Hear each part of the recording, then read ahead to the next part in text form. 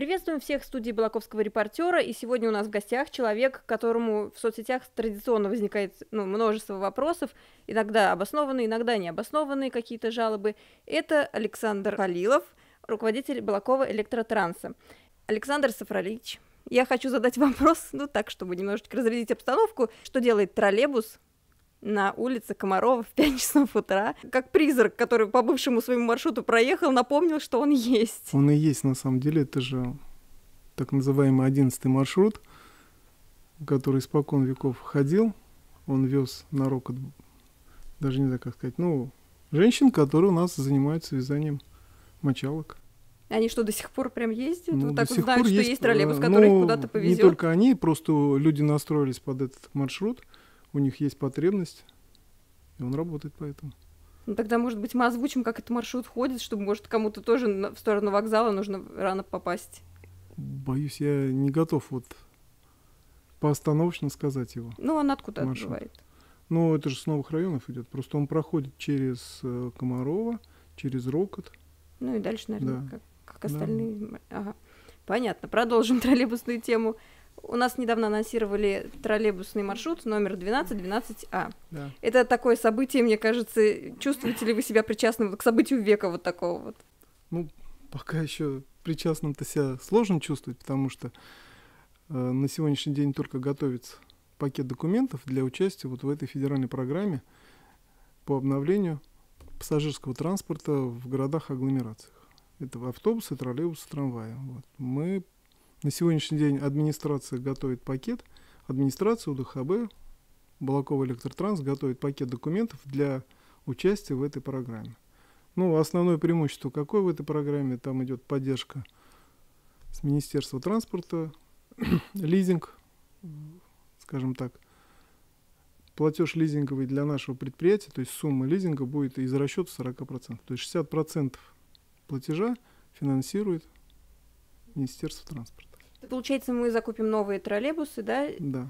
и они будут ездить чисто по новому маршруту, или все-таки они Да. распределятся Но мы по другим? предполагаем, что пока эти троллейбусы мы будем запускать именно по новому маршруту, потому что, если вы видели, там не по всей части маршрута существуют контактные сети, поэтому в нашей заявке указаны троллейбусы с увеличенным автономным ходом до 20 километров. Вот именно по этой причине, ну и, соответственно, да, появляется у нас гибкость, мы можем строить новые маршруты. Ну, от, опять, от- исходя от того, что у нас существует старые, то есть от этих сетей, мы можем как-то корректировать и делать новый маршрут.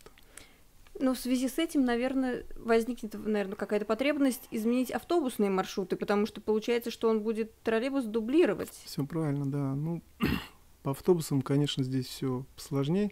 То есть, если говорить за автобусы, знаете, да, в 2020 году у нас в феврале месяце администрация объявила конкурс на получение свидетельств на право перевозки пассажиров по маршрутам, которые у нас были в городе. В апреле подвели итоги, то есть определились перевозчики, которые получили эти свидетельства. Это право осуществлять перевозки. Ну и приступили к работе с 1 июля. Эти свидетельства выданы сроком на 5 лет, то есть до 2025 года. И вносить какие-то изменения в эти маршруты по закону на сегодняшний день невозможно. Ну, за исключением только если непосредственно какие-то перевозчики откажутся от перевозки на каком-либо из маршрутов. Ну, по каким-то там объективным причинам. Ну, продолжим вот эту тему, что какие-то перевозчики откажутся. У нас же вот была уже такая ситуация, что Ну, маршрут. девятка, нет, четвертый, понятно, маршрут. закрылась. Ну, э, А мы проди- ведем речь именно вот о таком. Что То прям есть о полном закрытии. о полном закрытии А если, маршрута. например- Перевозчик отказался полностью по это, ну, по Мгм. каким-то там объективным Ну вот причинам. смотрите, если вот вы помните, была, была ситуация у нас девятка, 22 там вот не хватало автобусов, вам приходилось их под- Ну, их как-то не хватает, дублировать. если говорить за 22 маршрут, потому что как бы Вот. 20 год ковидный внес существенные коррективы. Конечно, у нас часть перевозчиков просто перестала работать как предприниматели, ну и часть перевозчиков пострадала, просто они не справились там с Ну а в этом случае тогда можно закрывать маршрут, если просто нет автобусов? Ну, автобусы есть. Ну, Понимаете, там же как равно бы- прописано, какой интервал должен, сколько их, этих автобусов должно ходить, а их не хватает. Ну, вот разорваться или где вам взять эти автобусы, чтобы закрыть потребность? Можно же пересмотреть маршруты, например? Можно расторгнуть только контракт в том случае, не контракт, а отозвать свидетельство о перевозке, если в течение трех дней на маршруте ни одного рейса не было сделано. Понимаете? А у mm-hmm. нас нет такого. То есть, да, есть задержки, есть иногда есть очень большие задержки по этому. Ну, не опоздание, а мы говорим про интервалы. Там у нас в тех заданиях от 6 до 15 минут. Есть, конечно, там и полчаса, и есть и случаи, когда и 40 минут люди ждут. Мы говорим за 22 маршрут. Вот. Но при всем при этом маршрут работает. И, скажем так, формального права нет. Вот закон такой. То есть люди будут стоять ждать. Я думаю, что... А вот смотрите, вот, вот в этом часть. случае вы же как... Ну, вы же тоже член товарищества, получается, да, да. Также наравне с перевозчиками? Или у вас какие-то особые права из-за того, что вы, например, представляете их в закупках? Или как? Нет, у мы не представляем их там... в закупках. Это абсолютно, скажем так, ну, равные товарищи. Мы уполномочены просто всеми товарищами. Мы являемся уполномоченными товарищами. Через нас, да, мы заключаем договор, мы принимаем все претензии на себя и ведем работу дальше уже со всеми остальными. Но с точки зрения юридической, это не юридическое лицо. Каждый предприниматель автономен. То есть он сам принимает решение, кого он принимает на работу, как он обновляет свой транспорт или еще что-то, какие-то вещи. То есть здесь повлиять на перевозчиков, если говорить про букву закона, мы, конечно, никак не можем. То есть мы абсолютно все равны. А сколько вас в товариществе? Ну, в разных товариществах, там на разных э, маршрутах разное количество предпринимателей и соответственно, разное количество товарищей. А вот БЭТ конкретно за кого, за какой маршрут? На каких маршрутах? Угу. Ну, мы в товарищах, это пятый маршрут, седьмой маршрут, девятый, девятый я, двадцать первый, двадцать второй маршрут. Угу. Здесь мы в договорах товарищества участвуем. Просто ну, вот было лет десять назад, наверное, такое было, когда, может быть, помните, ну, скорее всего, все взрослые помнят, когда началось начались большие такие проверки автобусов, когда еще у нас маршрутки ходили, угу. что маршрутки должны 5 лет ходить, автобусы должны 10 лет ходить максимум, все дальше потом им нельзя работать. У нас сейчас это отменилось или это действует, и также у нас автобусы вот не должны свой Нет, возраст на, превышать? На сегодняшний день каки, какого-то регламента по возрасту транспортных средств нет. Но есть основное требование, это должно быть технически исправное транспортные средства и соответствовать всем нормам. Вот автобусы, которые у нас, э, которые ну, непосредственно Балако Электротранс эксплуатирует, и автобусы предпринимателей, которые у нас в товарищах, то есть все утром проходят предрейсовый технический осмотр и медицинский предрейсовый осмотр. Все поголовно. А вот то, что, ну, особенно касается пятерок, прям я замечаю. Что там? Ну, чадят они прям черным дымом, это нормально ну, это, или нет? Подождите, ну, чадеть черным дымом может только один автобус, который дизельный там. Остальные на газу, они не чадят черным дымом, они могут ну, издавать ну, запах, еще ну, что-то, а но черный. таких вот? Ну, на пятом маршруте один единственный такой автобус с дизельным двигателем, да. насколько я знаю. Может, да. я его у часто всех встречаю? Предпри... Возможно. То есть у нас на городе, в городе, наверное, два пазика, которые с, именно с дизельным мотором. Все остальные на газу либо на бензине. Ну, а их как-то проверяют. Они, ну, они же тоже, наверное, не должны чадить. Это же, наверное, как-то неправильно. Ну, вот сейчас э, у нас до 1 октября заканчивается, скажем так, мораторий на техосмотр. И я думаю, что тут техни- техосмотр нам тоже ведет определенные коррективы. И в этой части тоже. То есть в целом Когда БЭТ покупал последний автобус? Вообще, когда у вас проходило последний раз обновление парка? Ну, это было не при мне, сразу могу сказать. То есть три года я работаю, это было не при мне. В шестнадцатом-семнадцатом году. Mm. Вот. А сколько всего автобусов у вас? Ну, на сегодняшний день, с учетом, э, да, 50, 50 автобусов. Это и Лиазы, это и Пазы. Ну, есть Газель у нас. То есть с учетом того, что мы осуществляем перевозки по городу на 15 маршруте и весь пригород. Угу. Поговорим, давайте, знаете, о чем? О тарифе. Это же очень важный вопрос. Не собираются ли его поднимать? И сколько вообще должна стоить поездка? Ну, если так отбросить, что людям, люди там скажут, что это дорого, просто сколько она должна стоить, чтобы потом, например, на отложенные деньги можно было купить новые автобусы, там как-то обновить, проводить ремонт регулярно, чтобы водителям и владельцам этих автобусов хватало и на жизнь, и на обслуживание этих автобусов, и, собственно, чтобы мы ездили в нормальных автобусах? Ну, здесь э, так однозначно трудно сказать, потому что, смотрите, опять-таки, про что мы будем говорить? То есть, либо мы, условно говоря, весь город переводим на газели, как общественный транспорт, и это одни затраты. Правильно? Там есть одни, есть свои преимущества, потому что для перевозчика, конечно, дешевле, но есть другая сторона, когда не все пассажиры могут уехать в час пик на «Газели», особенно в зимнее время. То есть и по разным маршрутам это по-разному происходит. Вот. То есть там одна сторона, скажем так, себестоимость. Если мы говорим за автобусы большего класса, там, средний или больший класс, то, соответственно, там и затраты другие. То есть что «Газель», что, допустим, «Лиас». Разные. Поэтому так однозначно сказать за себестоимость, потому что час пик у нас утренний час пик там два, два, два с половиной часа и вечерний час пик, который более-менее так растянут на три часа. Вот. Э, вы же живете в городе, прекрасно mm-hmm. видите, что в течение дня автобусы ходят. Ну, не заполненные. Мягко а, говоря, да. не заполненные, да. Но при этом они должны соблюдать интервал от 6 до 15 минут. То есть это максимум 15. То есть, скажем так, днем мы ходим с интервалом там в 10-12 минут, 15 маршрут. Понимаете? И, соответственно, если бы есть пассажиры, то это и цена.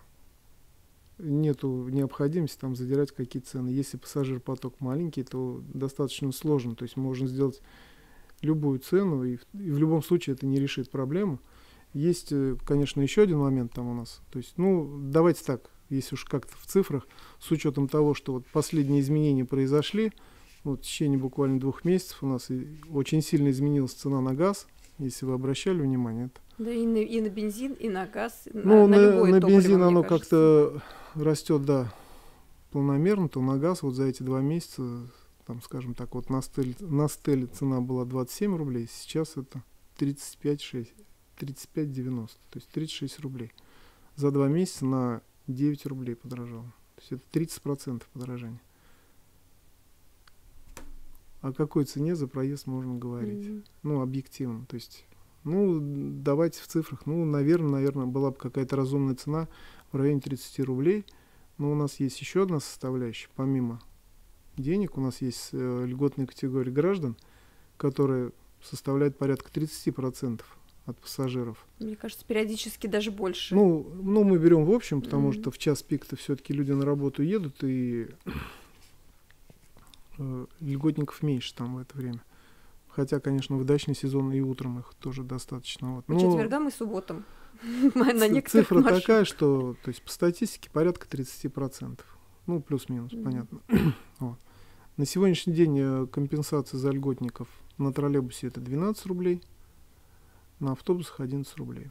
Поэтому как бы вот эта составляющая тоже немаловажная. Хотелось бы, чтобы все-таки она была ближе полноценной стоимости проезда, соответственно, это тоже в положительной степени отразится на перевозчиках. Mm-hmm. То есть, может быть, и не будет необходимости поднимать там, условно говоря, проезд до 30 там, рублей, а сделать там, ну, условно, 25 и практически полноценную компенсацию.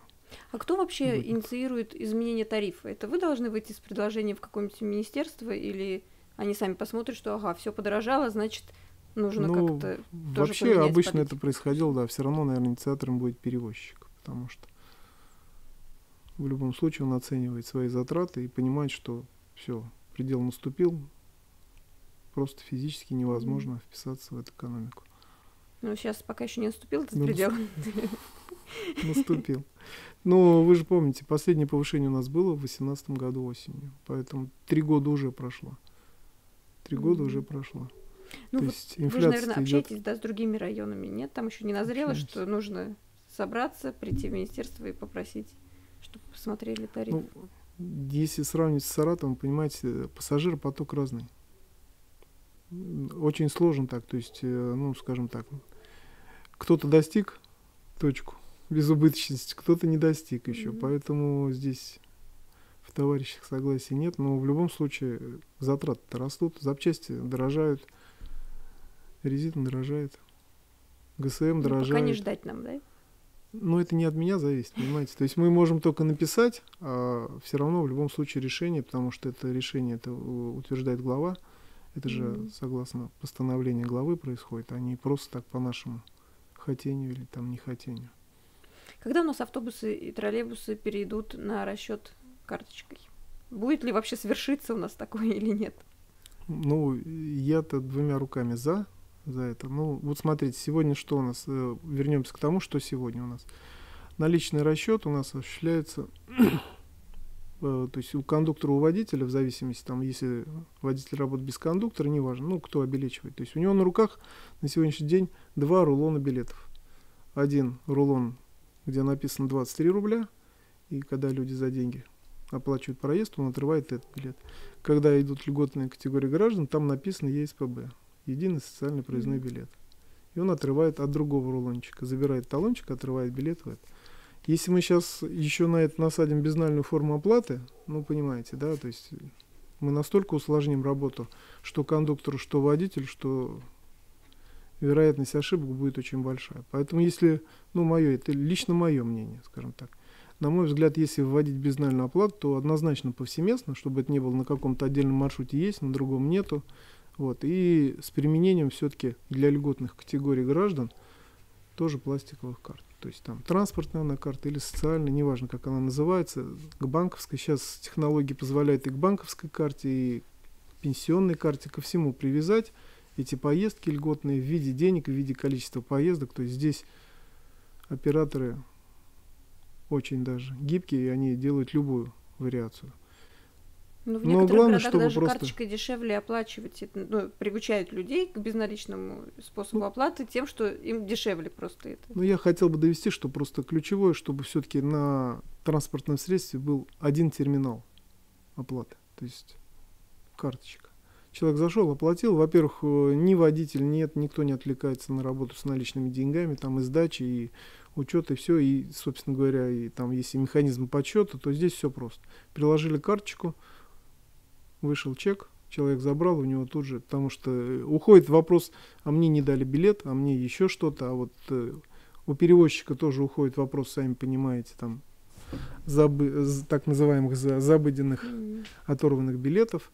Вот, поэтому безнальная форма, я не думаю, что перевозчики будут против. Ну, надо, чтобы и льготники ушли, потому что опять мы поставим терминал, останутся льготники, ну и мы останемся, в общем-то, опять в прошлом веке mm. по функционалу. Хотелось бы, чтобы это все было едино тогда. Тогда можно говорить и не только там о переносных, а как это есть в крупных городах, стационарные стоят.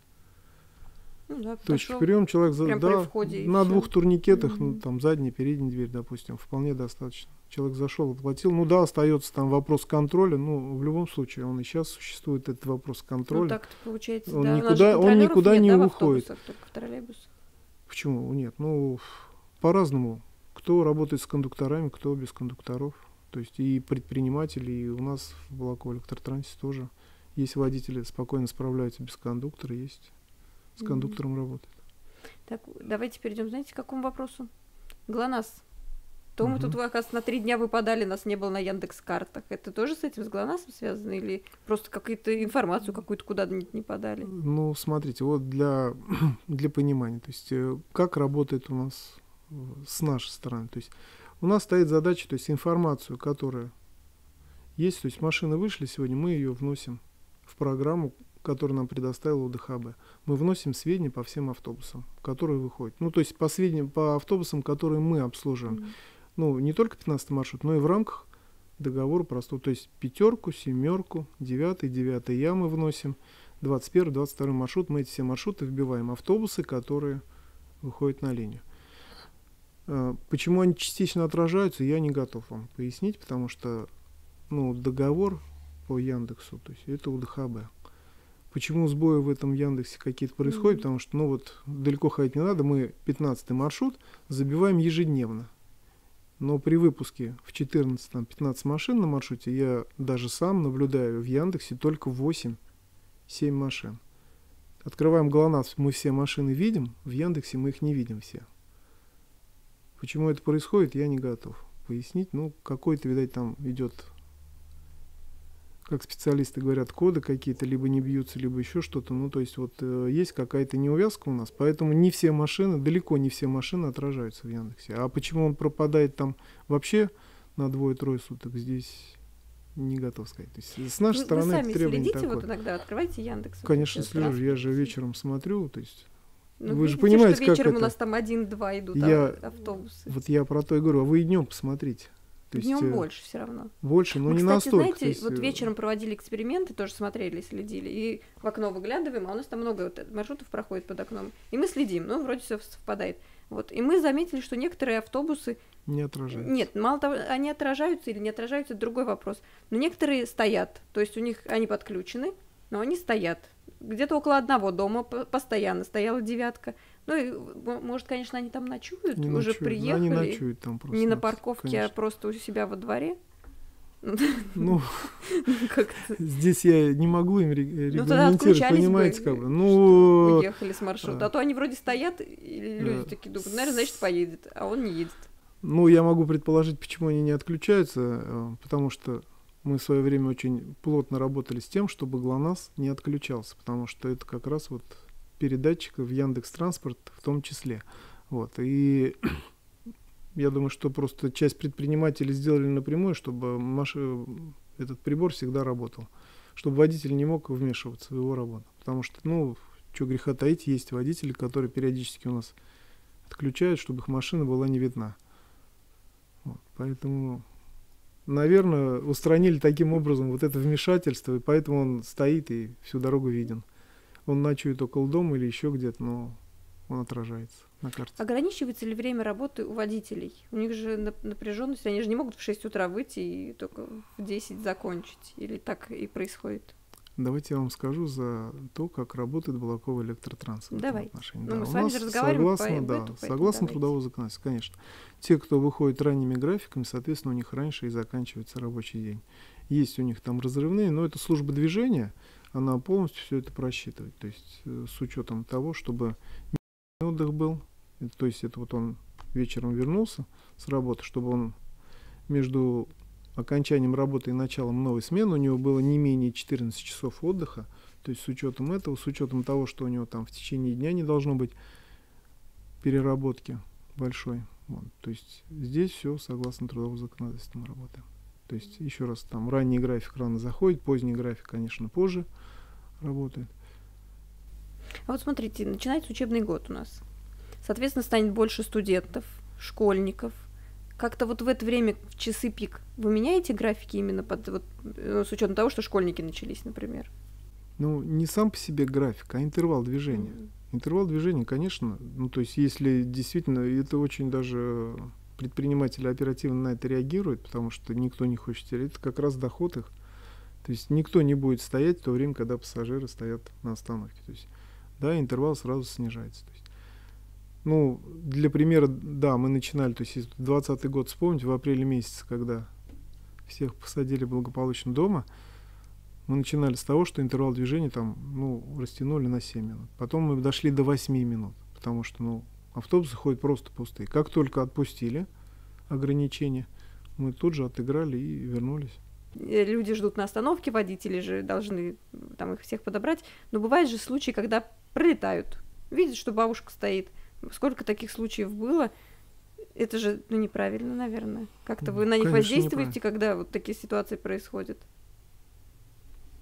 Так. Ну, какое право вы вообще имеете, ну, вернее, какой Да. способ воздействия вы имеете на Вы- водителей, которые вот это вот совершают такие поступки? Ну, э, скажем так, на 15 маршруте такого не происходит. То есть, если это происходит, то это вопиющее нарушение. Вот.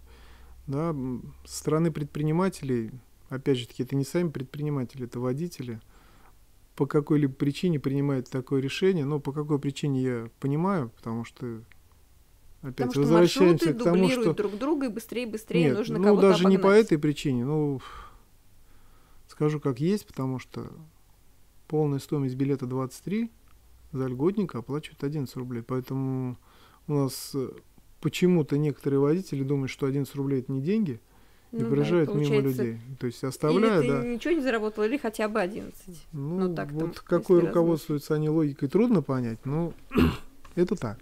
Вот, естественно, мы с этим тоже боремся и работаем в рамках того, что мы, ну, то есть в рамках того, как мы можем повлиять на перевозчиков. Я говорю про предпринимателей. Вот, в рамках нашего товарищества. опять же, начинается учебный год, поедут дети, а с учетом нового закона высаживать их нельзя, и, наверное, появятся такие, которые будут делать принципиально что-то. Вы на них тоже никак не можете воздействовать, никаких там пунктов нет в законе. Ну, каким образом? То есть, в принципе, что мы можем сделать? Остановить автобус, вызвать наряд полиции. Максимум, что мы можем сделать. Ну, опять, дальше что? Вызвали, его забрали. То есть, каких-то... Да, высадить, да, высадить мы его не можем. Получается, перевозчику проще довести его и забыть про этого пассажира.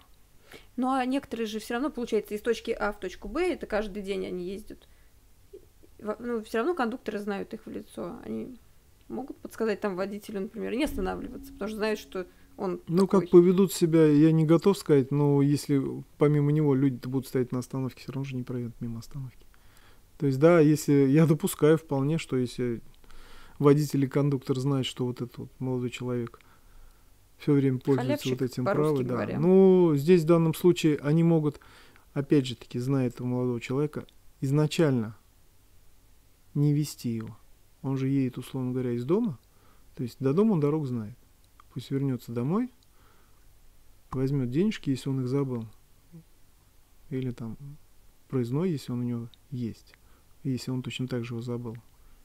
И добро пожаловать в общественный транспорт. Но если он уже едет туда, конечно, его надо доставлять до места, куда он едет. Ну, здесь что обсуждать? Закон есть закон, он принят, поэтому то, что есть люди, ну, у нас это нормальная практика, то есть ничего тут такого нет, будем работать с этим. Часто ли поступают какие-то жалобы со стороны пассажиров, и какие в основном, на что они жалуются?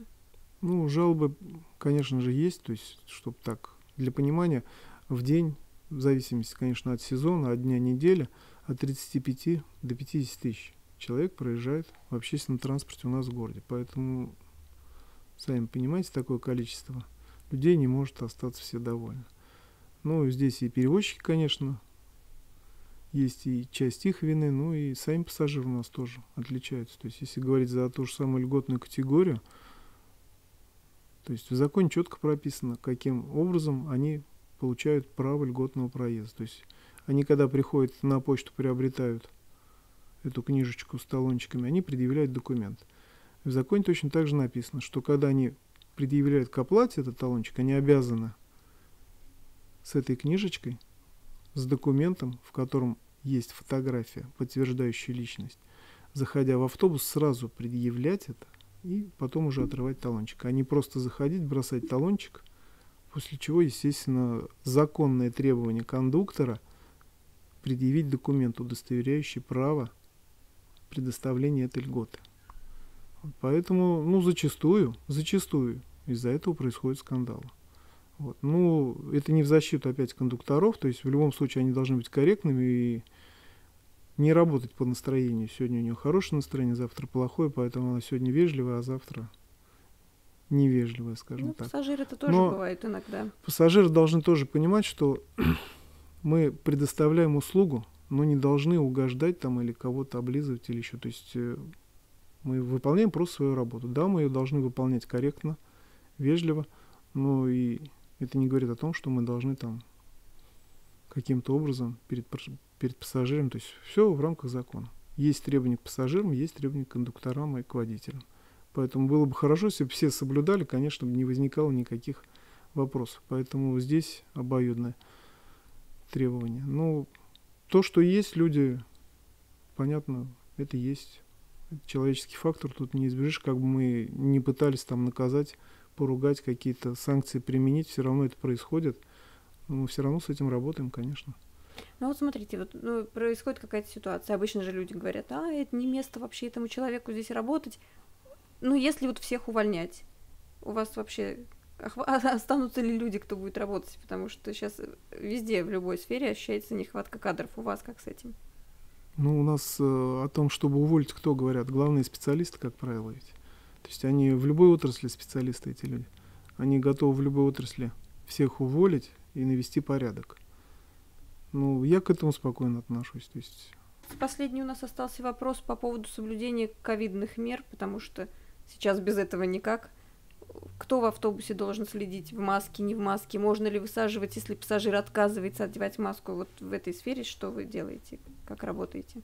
Ну, функция контроля на нас не возложена, конечно. То есть, э, что мы можем сделать? То есть, как это должно выглядеть, по идее? То есть, если у нас присутствует в салоне пассажир без маски, то мы вправе не предоставлять услугу. То есть, мы просто стоим на месте. Понимаете, да? То есть, мы, у нас весь транспорт остановится в городе. Потому что у нас так или иначе в каждом автобусе присутствует пассажир, который по какой-то причине – не одевает маску. Ну, в лучшем случае, если едет автобус с тремя пассажирами, и там все в маске. Да, вот он едет. Но если автобус чуть побольше, вы живете в городе, вы видите, что происходит. То есть пассажиры наполовину едут без масок, наполовину в масках. Еще раз повторю, у нас, ну, то есть мы не контролирующий орган.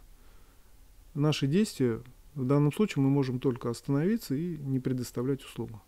Ну, это получается, вот смотрите, человек едет без маски, вы не можете его проконтролировать, но тем не менее какой-нибудь проверяющий может проконтролировать вас, что в вашем автобусе едет. Да? Потому я и говорю, что мы наказать. не должны, то есть э, наши действия, то есть мы не должны предоставлять услугу. То есть вот он зашел, пока он маску не оденет, по идее, мы не должны трогаться с места.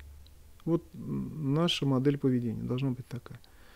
В данном случае, то есть еще раз повторюсь, тогда весь город будет стоять. Если так, давайте по букве закона попробуем, но тогда это должны все сделать и посмотреть, что получится. Угу. Потому что, ну, здесь требования не только к нам, но опять же таки и к пассажирам. Водитель или кондуктор не может и не должен принуждать кого-то там одеть маску. На входе во все общественные транспорт сейчас везде висит, ну, так же, как и в магазинах, и во всех общественных местах, входить обязательно в маске. Как еще доводить до людей? То есть ну да, мы единственное, да, просто не ехать. Тогда пассажиры начнут скандалить, либо они вытолкнут того пассажира, который без маски, ну, либо там это чем-то закончится. Чем-то это закончится все равно. Конечно. Ну, то есть по букве закона, то есть это точно так же, как в магазине. Продавец не должен обслуживать человека без маски. Правильно, если он заходит в магазин, нет. По закону он сейчас на сегодняшний день не должны ему предоставлять услугу. У нас та же самая ситуация. Мы не должны предоставлять услугу, если человек не выполняет требования. Я надеюсь, что после нашей программы хоть кто-нибудь скажет спасибо и кондуктору, и водителю. Спасибо вам за то, что пришли к нам в студию. Удачной вам работы.